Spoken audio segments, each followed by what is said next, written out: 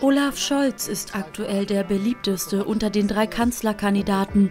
34 Prozent der Deutschen wünschen sich den SPD-Politiker als Merkels Nachfolger. Das ergab eine Umfrage des ZDF. Im Sommer 2020 hatten die Sozialdemokraten verkündet, Scholz ins Rennen zu schicken. Seitdem hängt die Partei zwar irgendwo im Niemandsland zwischen 15 bis 17 Prozent Zustimmung fest, Scholz genießt jedoch größere Beliebtheit in der Bevölkerung. Im Interview mit Focus Online erklärt der derzeitige Finanzminister und Vizekanzler, was er sich für die ersten 100 Tage nach der Wahl vornimmt. Das Erste, was in Deutschland wichtig ist, ist eine Entscheidung, die dazu führt, dass viele Bürgerinnen und Bürger mehr Geld verdienen.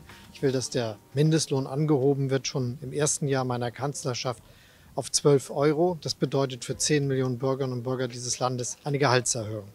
Das Zweite ist, dass wir die Weichen dafür stellen, dass Deutschlands wirtschaftliche Zukunft gesichert wird.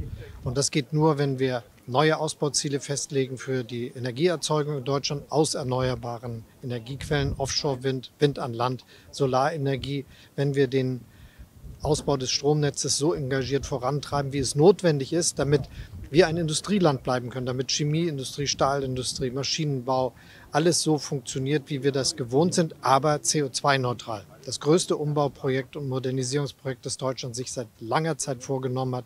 Wahrscheinlich hat es eine solche Veränderung, wie sie jetzt notwendig ist, damit wir auch in 10, 20 oder 30 Jahren noch wirtschaftlichen Wohlstand haben, zuletzt am Ende des 19. Jahrhunderts gegeben.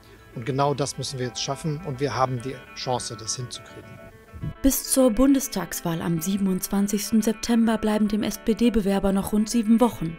Zu tun ist mit dem Wahlkampf der Corona-Politik und der Flutkatastrophe so lange genug.